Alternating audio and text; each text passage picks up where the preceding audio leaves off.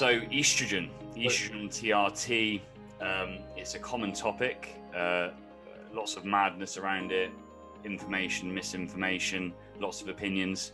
So if you want to find out some balanced views and, and some views of um, of uh, Nelson Vergel and Dr. George Touliatos, keep watching.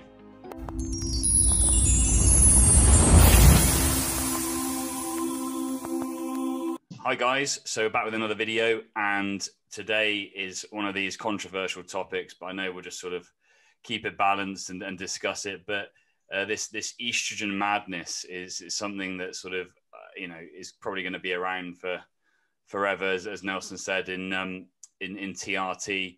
We hear lots of things about estrogen that it's that it's bad. I mean, we obviously had those studies where it was observational and the, the, that reference range for target range for estrogen came out before people realized it was sort of guys with low testosterone and it doesn't apply to giving people you know trt and those studies didn't block estrogen. And we've got people saying that it's it needs to be as high as possible and and it, it needs to be crushed and and aromatase inhibitor use and things like that. So what are your guys views on estrogen in general? And then obviously estrogen with TRT, and should it be managed versus, um, you know, is it something that should be blocked? Well, we, we have we agree in some things. We have some things in common. So I'm a fan of estrogens, and I first wrote a, a, a, the significance of estrogenic environment in bodybuilding for Bill Llewellyn five years ago. And when John Crisler read it in first place. So the guy says, I took your dose of Mazdol and I peed out a gallon of water. It was estrogen he told me that the assumption is the conclusion that you you sound like is something good, which is not actually. So I told him it's up to. I mean, there are beneficial estrogens for mood, for cognitive function, for endothelium uh, function, also for joint health, uh, for uh, uh libido, also for sex drive, for bone mineral density.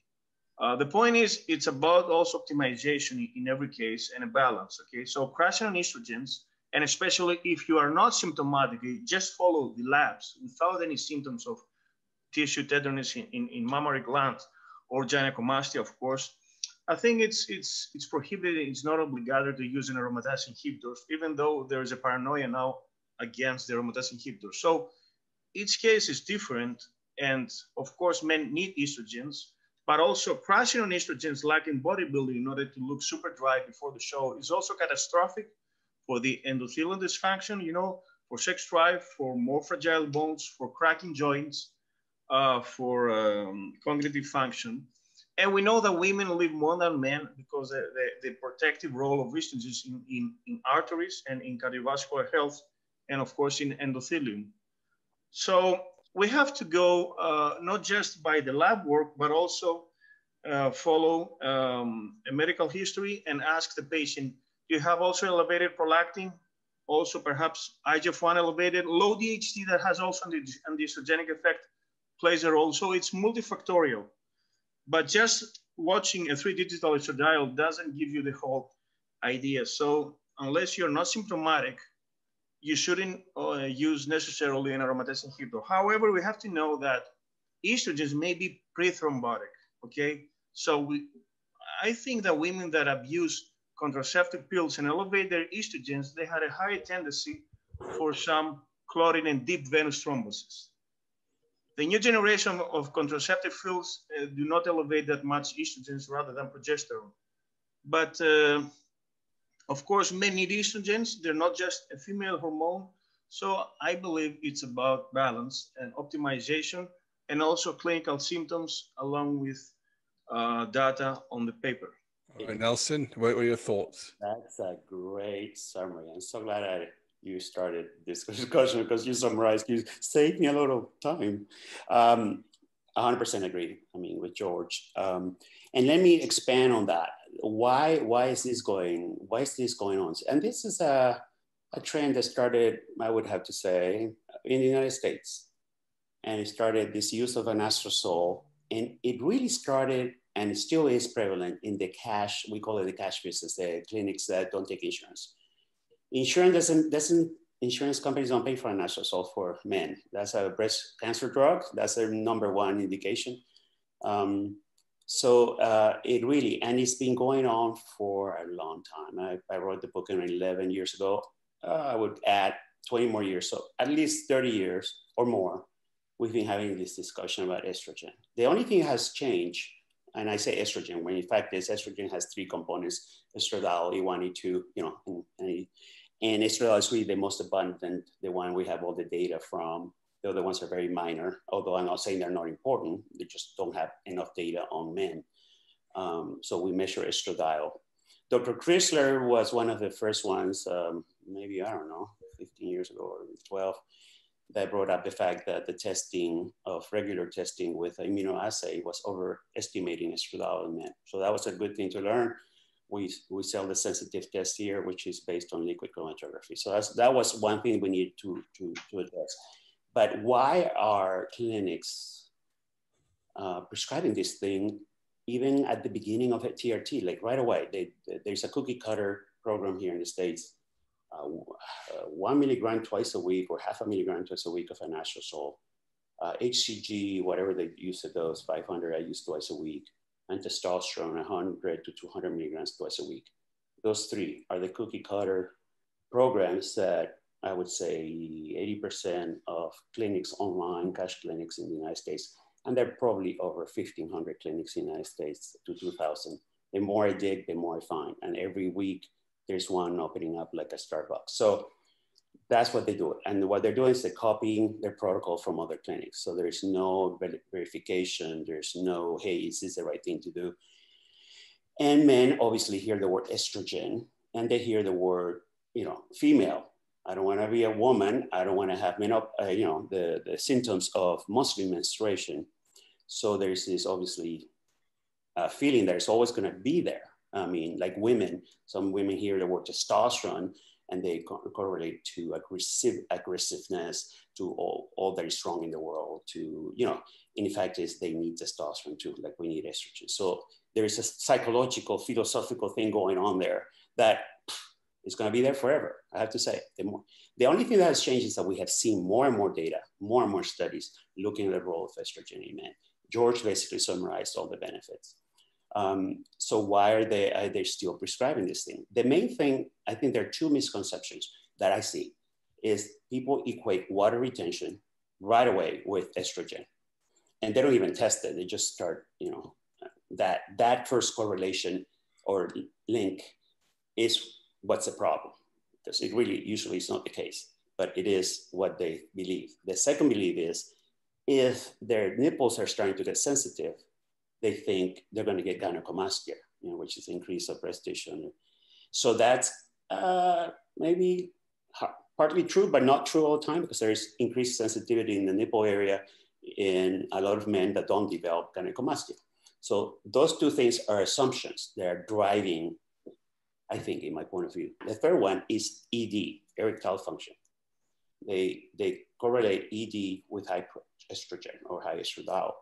Duration of the erection, actually. Short, uh, if your erection is not does not last for quite, perhaps they, they are super high. Yeah. So there are these three assumptions with very little data or very little lab work, because usually people don't run the test, and the clinics don't. Um, so that, those are three things that are driving this craziness. And there's a fourth one, which is the psychological aspect. What we know is the evolution, we had the cascade, like we were talking in other videos, where, you know, we start from cholesterol, all the way down to testosterone. Testosterone doesn't stop there. There's DHT, 10% of testosterone becomes dihydrotestosterone. It's linked to, you know, libido is linked to some of it, also the acne, the side effects, but DHT has a role. And then there's 0.4%, tiny little bit of testosterone that gets converted into estradiol.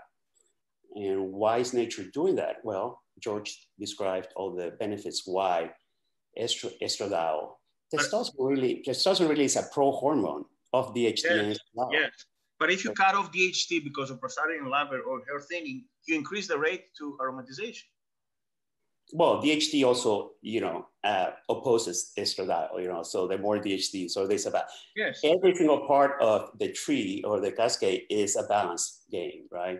So the only, the thing, and I'm an engineer, so I'm a numbers guy, and the thing I have a problem with, and I know one day this will be solved, because all we need is a good IT uh, coder a computer uh, whiz that will just put these numbers together into a matrix. Because we tend to see one number at a time. We say, oh, just testosterone is low. Just no, it should be everything. How is testosterone related to estrogen? How thyroid, thyroid function is working. So it is not a decision based on one number. Every decision on hormone balance should be about hormone balance. Yes. In my point of view, and there are very there are only two or three studies on the ratio of testosterone to estradiol. Some of them uh, obviously are using the old test. There, there may be some accuracy issues, but they say, you know, uh, ratio. And when I say ratio, we're using different units in the United States than you guys in the EU. And nanograms per deciliter divided by picograms per milliliter should be 14 or above for at least the studies are showing some seen um, um, sperm count production, anything below that. So the ratio of testosterone and estradiol are probably, is probably even the most important thing that you're saying. And I can say this because I, I sell blood tests and and the ranges of testosterone, normal ranges and normal ranges of estradiol that have been determined by the LabCorp Corporation, the, one of its lab, lab testing companies, and Quest Diagnostics, based on their database data set, not based on anything else, that say, for instance, uh, Quest has a maximum of 28 picograms of estradiol, but their data set is mostly men not on testosterone men on TRT are not the regular people used in their data sets of these determinations. So I would say 90% of men that come to these counter labs have high testosterone because obviously they're on TRT. They have high estradiol, obviously, because 0.4% of this converts into this. And they're freaking out because their numbers in a red, out of range high estradiol. So that psychologically is like, oh my God, give me an anastrozole. When in fact is, wait a minute, your testosterone is 1200, not like in the studies, most studies were 350. So this range does not pertain to you. Well, should be one tenth, should be one tenth of it, E2 than total team. At least, or, or you know, so you is it true, is it true, Nelson, that those ranges refer to women and not in men? Let's be Ooh. below 60 picograms there's very yeah because what we're using in the states now more, more than anything is a sensitive test which is based on liquid chromatography mass spectrometry that test basically was developed for women and for uh, pediatrics too. And obviously we're starting to use it in men. So, so yeah. it doesn't it, apply to us in trt no and it doesn't apply to anybody on testosterone. Because i would say when have you seen a man on trt unless you're using a gel that has 500 nanograms? I would say some, and usually using androgel or one of the gels or creams. But most men injecting testosterone, and this is my experience, and I have good, obviously I cannot disclose the data because there's HIPAA requirements, privacy, but I have good, I can say with a good, maybe I'm probably the only one in the field that can say that. 90% of the guys, and there have been thousands of tested through these counter labs, have over a thousand nanograms per deciliter, which is above the range of testosterone because LabCorp and and Quest say you, I think they're top 950s one. So you, yes, out of range of testosterone, you should be out of range on estradiol. Does that mean you have to treat estradiol? No, Uh, as long as the, that ratio can say. But we have no data on the ratio. There's only, I have to say, it was a beautifully done study. I analyzed it. I have a video on my YouTube channel, ExcelMale. The only study that actually suppressed testosterone on purpose, they gave them a, a testosterone blocker that is used for prostatic cancer. And they added testosterone or an anastrozole to several groups. And they actually saw the, the, the, the, curve on how many people their, you know, their, their DHT and their, their estradiol, and they were actually to correlate. Obviously, there's a correlation there. I, showed it in the video. So as long as we are cl close to that correlation, there's balance. If you don't have gynecomastia, and I would say, this is something I do have to admit, anybody that had gyno when they were younger or when they were bodybuilding, will always be afraid of estradiol. I don't discount that. I think they, you know, they, they maybe have a reason too, but that subset of patients will always use an anastrozole because they're afraid to, for it to come back, even the ones that had surgery uh, to remove the glands. But most men do not need an anastrozole um, because really, unless you're seeing a ratio of, you know, 10 or below 14, where the estradiol is so high that the ratio is going down. Obviously, it's T divided by two.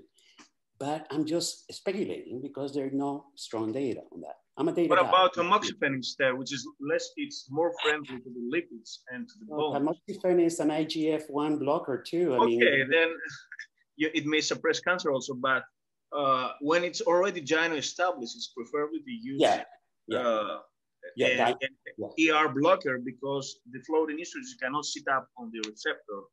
Okay. Tamoxifen is definitely the first. Let me ask you, there was a case of a bodybuilder who was blasting one gram of testosterone and his estradiol was 500, asymptomatic totally. No removal of the gland, but asymptomatic. Now, what do you do there? Just for the sake of pre-thrombotic effect, you have to lower at least 100 the estradiol or leave it to 500 and then maybe he had a stroke and then you feel guilty about it. Hey, George, you have one, you wrote one of the best articles and you mentioned it. Yeah, man, but this is, a, it's outrageous. but- 500 estradiol, it's, it's crazy. It's crazy. Well, you know, I mean, his, his hematocrit okay? His, you know. Yes, it's fine. It was 45. sedimentary uh, rate is the sedimentation rate okay i mean uh, his platelets okay there are many factors involved in, in thrombosis right and there's some obviously genetic factors you know like factor five and all that so you know you wrote probably the best paper back in the days on the the, the benefit of estrogen estradiol in bodybuilding well, this is debatable. How high? we don't know Do you remember Dr. Ramazani? Do you remember Dr. Ramazani? Oh, yeah, but you know, we do not know how high. Let's say you have a thousand nanograms. What is that in in, in your uh, nanomolars? Pico, picogram. 28, 30? About 30, yeah, 30. Below 40, below 60 is the range. So let's say 30 in testosterone in the, in the EU. You have 30 testosterone. How much should be the highest estradiol level? Just 0.04 of that. Point, you know, it's 0.04. Okay, I have a thousand, let's say. Mm-hmm. multiply Right. that by, you know, by 0.04. That should be, and then convert it to the estradiol units that you guys use in the EU. So it, I did it, you know, on Excel, I have a table. About 120 Excel- picomolar per liter. I have an Excel sheet on ExcelMale where I, you know, just to predict a 0.04, uh, because that's what nature wants, wants to, us to have, and what they predicted. And the study actually measured the actual levels of different doses of testosterone on estradiol and plotted it. Obviously, there's wide variations because everybody's different. There's fat content is different, ages were a little different, but there is a correlation and there is a plateau also that occurs at higher, higher doses of testosterone, where estradiol and DHT plateau. So the answer to your question is nobody has really determined what is the highest, what is the ratio that will lead to thrombosis, you know, especially if there are other factors. If you smoke also, you know. So, you know, do we, uh, is 0.5 milligrams of naloxone a week bad for you? I, I don't think so. I don't think it's bad for people. The only thing that can change is lipids, but and bone density, Every single study I've seen is like a milligram at a time. That's 48 times too much of a drug. Think of every drug you've ever used. If you administer it 48 times the recommended dosage, are you going to get a good outcome? So saying that an aromatase inhibitor is a poison is like saying don't drink water because people are drowning in it. That makes no sense. You know, so they've heard some doctors say we shouldn't even measure estradiol on the blood tests uh, at all. But you know, it's a useful tool that we see. You know, when someone's starting TRT, uh, to see if they are deficient in estradiol, which may be leading to bone loss due to their low testosterone, and also some of the effectiveness of, of their conversion once once on TRT. So I just thought I might might address that. See what you thought, Nelson. See, see- well, I asked actually, this is going to be, this is an interesting anecdote that I have. Yeah. I have two friends that are very close to me. They're doctors. They have a large practice of testosterone. I'm going to mention names. And obviously, they're very well read, very educated. I, I admire them a lot. And I asked one of them, why are you still prescribing anastrozole at those, you know, 0.5 twice a week at baseline? You're not even waiting for to test people at week 12. He says, Nelson, because if I don't, my work is harder. They will be complaining in those first weeks that they have high estrogen. They will be emailing, calling the clinic, and I just, my workload will increase by twice as much. because they read on the internet or they watch this video from somebody that is fear mongering or whatever it is. So I just do it now. And I just hope, you know, maybe long-term follow-up that you know, they don't crash estradiol. And obviously I'll, I'll remove the dosing back then, but I have to prove to them. And I cannot. If I stop prescribing it, my workload will increase dramatically because of the hmm. complaints. Hey, that gave me an answer. That really explained the whole thing to me. So makes sense. Yeah, makes sense. Does high estradiol favor higher HDL and lower LDL? yeah, this is a good. Yeah, uh, good. I mean, look at women. I mean, they have beautiful HDLs compared to us, and most and, and testosterone, or androgens decrease HDL, and you know affect lipids. Yes, so, yes, abusing it, testosterone will lower your HDL. You're bringing an anastrozole into a radius situation where HDL is low, and we can we can go for an hour. That could be a whole other topic because there have been studies with uh, torcetrapib on raising HDL, and some people died in the study. So, does having high HDL actually uh, well, improve heart health? So that's another... partly due to the to the actual drug that was given too. So actually, LDL is more important than HDL. The particle size is really what's what matters you know so, it's more protective that, that, would be a good video i'd like to go into like the particle size and that sort of stuff yeah we got to have a cardiologist on board. Yeah, actually, we've got um, Not really. Dr. Gupta. Dr. Gupta, we could do the one with oh, him. Yeah, yeah, there you go. There you go. Yeah, yeah. I'm saying it's not black and white. I, I'm saying that definitely I don't think anybody needs one milligram a week unless you're one of those uh, poor souls that has low T, uh, high H. You know, IG, IGF-1 has been linked, high IGF-1. A lot of guys on growth hormone and prolactin, prolactin. Uh, obviously, hyperlactin, but and low DHT also, yes. You, you Actually, by taking an aromatase inhibitor, you increase the DHT, and perhaps this increase to better sex drive and to hardness in the physique. That's what bodybuilders, at, at least, they do. They take two milligrams of anastrozole at 1 a.m., 1 p.m. before the show to harden up, you know, look more dry. And you increase actually the DHT, and that's why hair thinning occurs. This is uh, DHT decreases with obviously increases when uh, uh you know estradiol goes down. It's you know they go up and down together. Yeah. I mean, you do uh, if you use anavar and oxandrolone, you're basically blocking a lot of the estradiol through the increased DHT. But and you you've written about that too. But I do have to say that we are overdoing it in this field. Yeah. Um, we will not know the consequences until long term. Uh, maybe we'll. I'm 61, so obviously I haven't taken an anastrozole but once and didn't really you can check it out. How much is it regularly? Uh, my DEXA scan, you mean on bone? Oh, no, I mean, uh, you check out. I, I'm one of those guys that tends to run low. I mean, my 20s, you know, even though my testosterone. But not anymore? A thousand, yeah, yeah. I actually, uh, yeah, I never had. So I think there's some genetics involved in estradiol. Some guys tend to go higher than others. We haven't looked at that. There's actually some studies on men that have aromatase uh, uh, mutations in the aromatase gene. And they have a study those guys. Those are a good model to look at. Uh, what happens to them? The, the only thing that changes in their case is the bone density. So, you know, will a lot of these guys in their 20s taking an anastrozole weekly will reach my age at 61 and have fractures? I guess we'll have to wait and see. I wouldn't want to take that chance. I do see a lot of guys. I mean, if you type, if you Google crashed estrogen or crash estradiol there are probably over 500 posts on men that are freaking out because they feel fatigue the next day. They, fatigue, they lose interest in sex, they lose uh, penile sensitivity. They don't feel anything in their penis. They feel drained, yes. Yeah, so so there's such a thing as crashing. So we, I think we all agree that's not everything, right? Yeah. It, the, the question really is how high is too high? The how low is too low, we have data, 20 milligrams or below you will pay the consequences on mostly bone density and all that. So we don't have an issue there. It's how high is too high. Some mm-hmm. guys on the internet saying you should never treat. But Rand McClain believes between when it's between I think 20 or 60 is the best sex drive now.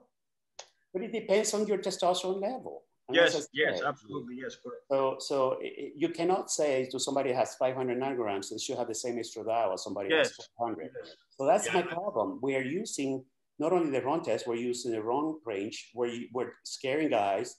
Um, people, clinics are giving an anastrozole at the first visit before even measuring it later. Um, any oh, this thing about water retention being a wrong assumption, this thing about oh my nipples are sensitive, give me the damage anastrozole. A lot of assumptions. I don't think this is going away. This is going to be with us for years. So it should as be proportional. Even after, as we generate more data, and data is coming. A lot every two months, I see a study on the benefits of estrogen in men. Um, but nobody's talking about how high is too high. so we need to do like a study that is being done already on blocking estrogen is actually giving men estrogen, which, hey, people say, how dare you? They you said once that they do prostate cancer. They, they do it in prostate cancer patients. They have yes. that, that they gave them estrogen to see if they actually they preserve their bones, and they some of them felt better quality of life.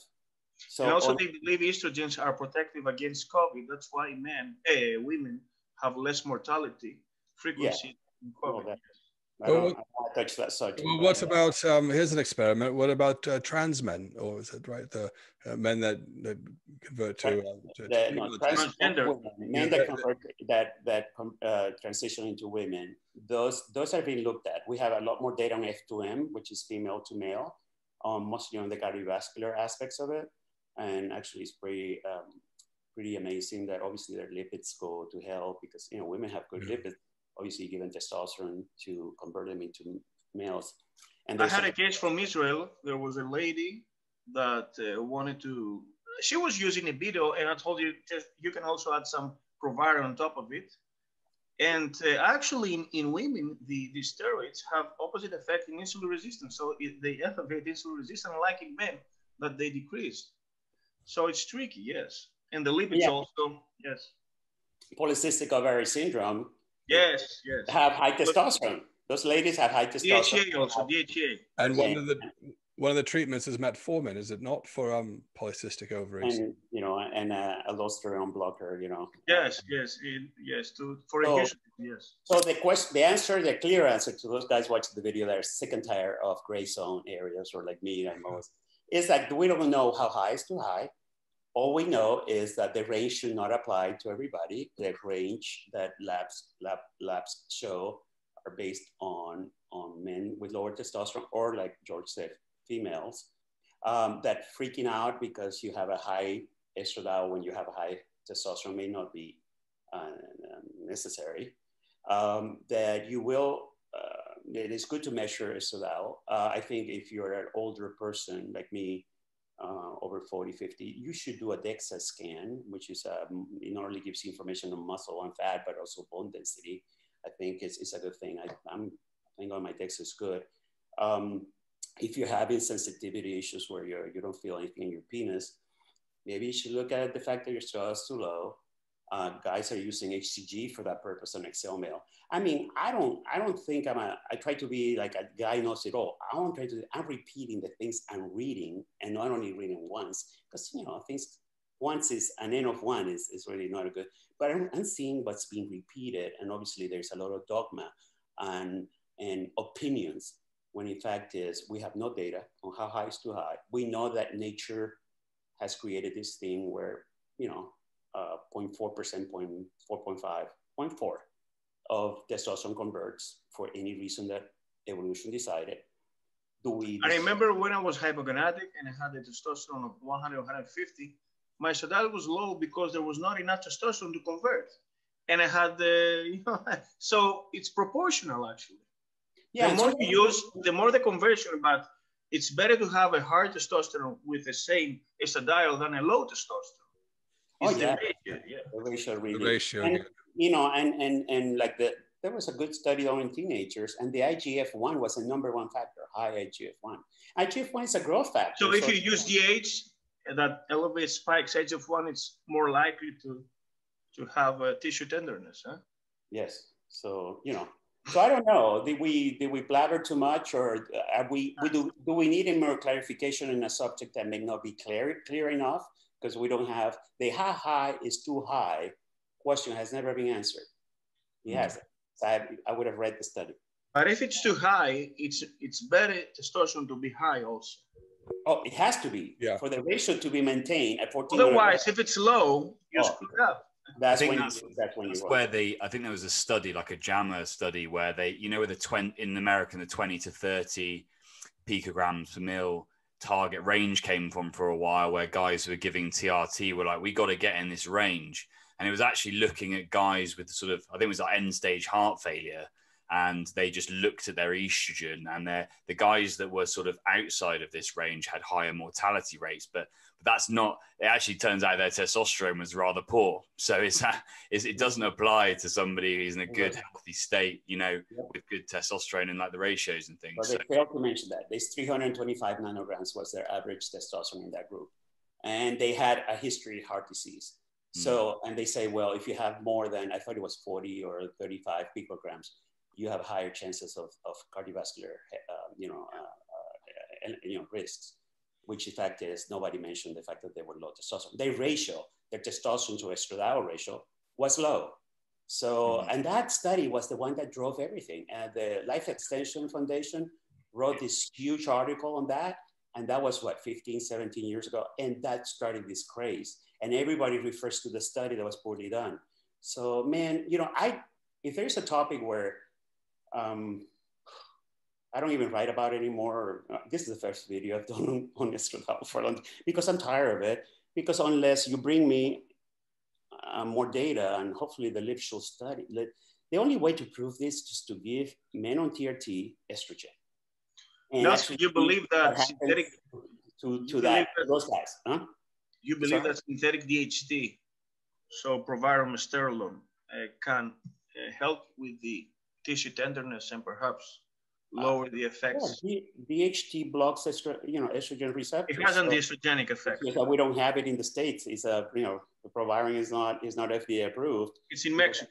Oh yeah, DHT DHT blocks es- estrogen and it can probably increase libido. So I would rather, if I had a real problem, I would rather take a DHT analog, even oxandrolone, uh, or you know proviron, than an estradiol.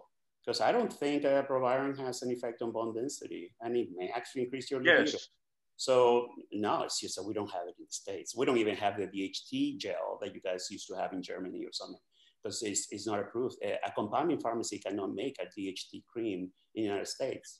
And or also taking uh, blocking DHT by finasteride dutasteride, and it, it makes you look more smooth and puffy because E2 elevates. Huh? really finasteride, like the really I think so, yes, because uh, DHT has this hardening effect and you look drier. But to take finasteride, you mean you look drier? No, no. Oh, sir. the opposite. If you, Oh, if you okay, okay, okay, okay. I was like, what? You have the, the other, Yeah. yes. Yeah, yeah. Well, we'll see. I mean, I'm not in bodybuilding, so uh, you you were and you are. So um, maybe there is such a thing as an estradiol making you look high, uh, harder and drier, and your water retention. You know, all I know is that I've. That is, I think that that you know you failed to mention that they take diuretics and they're on a Yeah. keto and they're on a keto low carb diet. You know, so what what is it? What, And what also too many androgens that burn the fat, yes. yes. yeah, I know oxandrolone, you know, is a DHT blocker too. It's a, you know, estrogen blocker, so it's, it's a DHT analog. So they're taking a combo of, you know, potential um, water uh, excretors, things that decrease your water content.